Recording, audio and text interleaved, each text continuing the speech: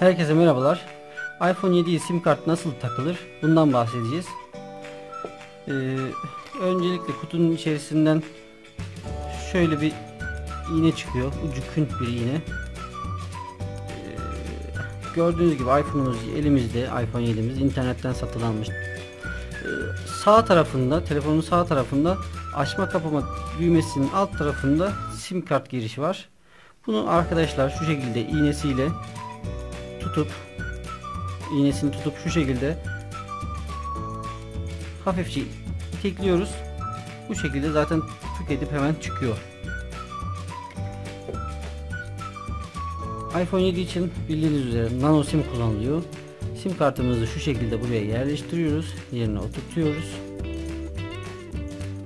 Ardından bunu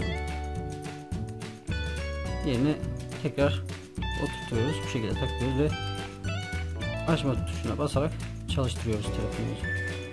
Eğer videomuzu beğendiyseniz beğenmeyi unutmayın ve kanalımıza abone olmayı unutmayın. Teşekkür ediyoruz bizi izlediğiniz için.